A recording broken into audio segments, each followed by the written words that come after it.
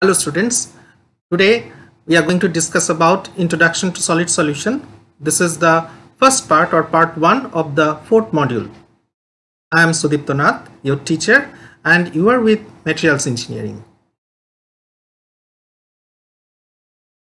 So regarding the introduction, you must understand that is the objective of engineering metallurgy is to determine the properties of material.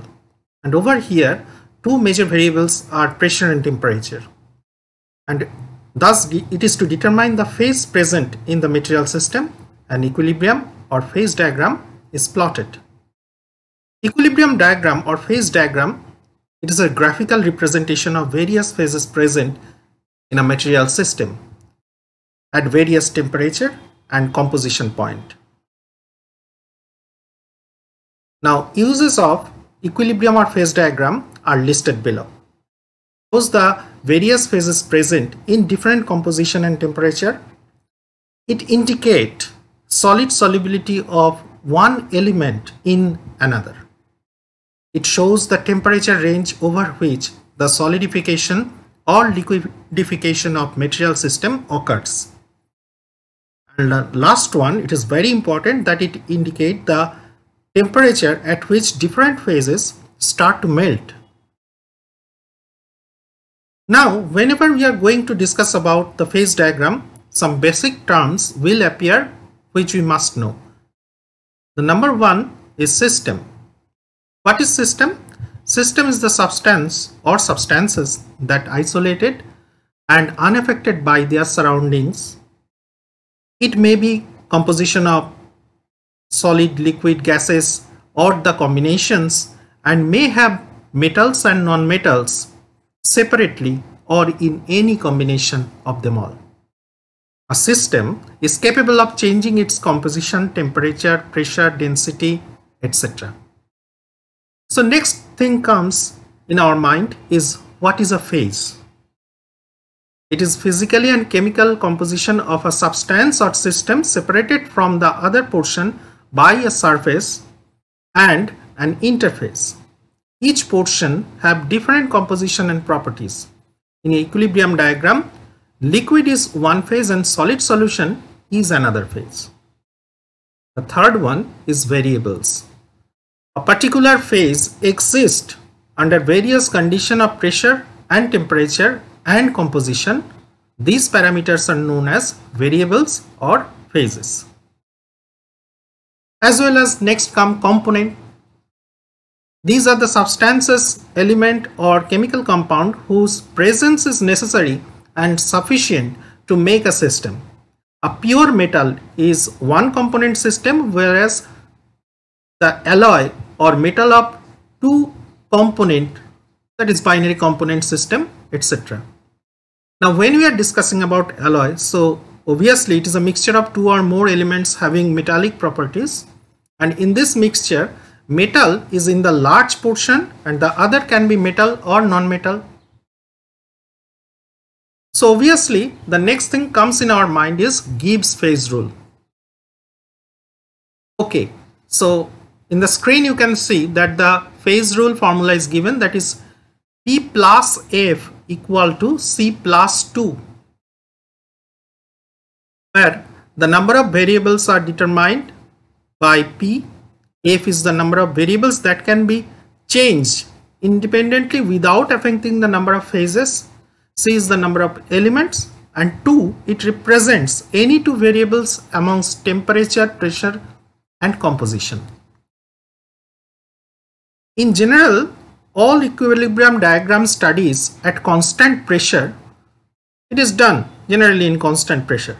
So the gibbs phase rule is modified to p plus f equal to c plus 1 we are con considering instead of taking 2 that is the independent variables instead of taking 2 like pressure temperature we are only considering the variable as temperature. So it is a single phase criteria we are considering. Now this phase rule helps to determine the maximum number of phases present in an alloy system under equilibrium conditions at any point in the phase diagram the phase rule can also be used to determine the degree of freedom which can be changed or altered. Now let us discuss about the solid solution and compound. Solid solution, it is a new term because whenever we are thinking of a solution, something liquid comes in our mind. But when we are discussing about solid solution, what does it mean? It means that a component or a phase, whenever it is mixed with another component or a phase at an elevated temperature homogeneously and then cool down to the normal room temperature if it is stable or if they are stable then we call it a solid solution. There is a thin red line between the solid solution and the compound. Okay, let's check. The element present in the alloy in the large portion is referred as base metal or parent metal or solvent and the other elements are referred as alloying element or solute. Solid solution is a type of alloy in which the atoms of alloying element are distributed in the base metal and both having similar crystal structure. The composition of alloying element may vary but the structure should be similar to the base metal. So here is a chart that you can see that how the solid solutions are distinguished like substitutional solid solution and interstitial solid solution. Substitutional solid solution, it is further, I mean, it is subdivided into two categories like regular or ordered type and random or disordered type. So let us see, let us check about substitutional solid solution. The name itself, it is telling that substitution, that is, it is substituting something or somebody. So the atoms of alloying element occupy the atomic size of the base metal. They are further classified as regular or ordered substitutional solid solution and irregular or discrete type solid solution. So let us check first the regular or ordered type and after that we'll check the disordered type solid solution. Now in this type the solid substitutions of atoms of alloying element is in definite order in the base metal matrix. The examples are nickel aluminum solid solution which occurs below 400 degrees centigrade. There is an image that you can see that is in case of order substitutional solid solution the nickel which is uh, the solvent and aluminum is the solute they are homogeneously uh, distributed over here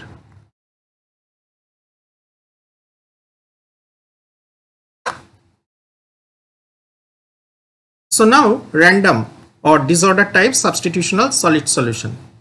In this type, the substitution of alloying elements is in the random or disordered type within the base metal matrix. The examples are alpha brass. So over here you can see that is the copper which is the solvent over here and zinc is the solute over there.